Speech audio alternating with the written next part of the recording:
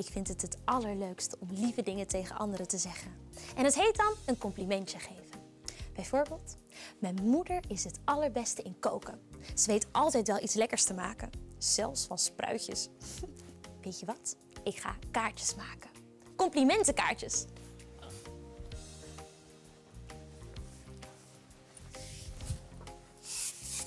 Kijk, dit is het complimentenkaartje dat Seppi vandaag voor me gemaakt heeft.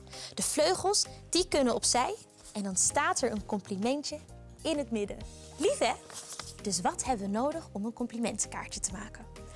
We hebben nodig rood, wit en zwart papier, een schaar, lijm, een bakje, een splitpen,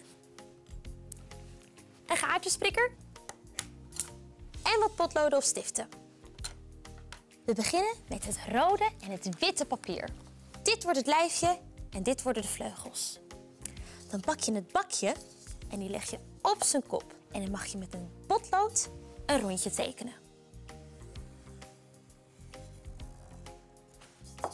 Zo. Deze mag je dan uitknippen. En gelukkig heb ik dat al gedaan. Zo. Dit is het lijfje en dit worden de vleugels. Maar die moeten we nog even doorknippen.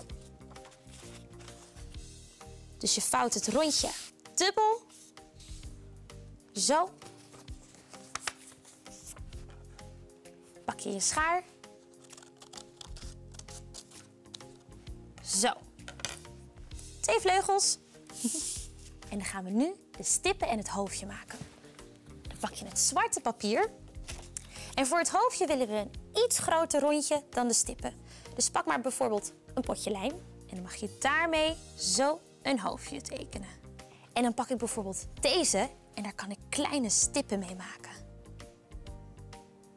Hallo, daar ben ik weer. Ik heb ondertussen het hoofdje vastgemaakt en er ook al een gaatje in geprikt. En ik ben nu de stippen op de vleugels aan het plakken. Ik had de rondjes al uitgeknipt en met lijm kun je ze dan vastplakken. Zo.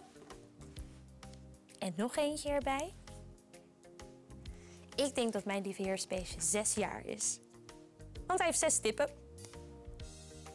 Zo. Als je de stippen erop hebt geplakt, mag je de splitpen erbij pakken. En de splitpen die gaat zo dwars door alle gaatjes heen. Alle gaatjes leg je bovenop elkaar. Je doet de pen er doorheen. En dan aan de achterkant kun je hem zo openvouwen. En zo blijft hij stevig vast. Kijk, nu kan mijn lieve heersbeestje vliegen. Wat voor compliment zal ik erop schrijven, Zeppie? Misschien iets voor mijn moeder?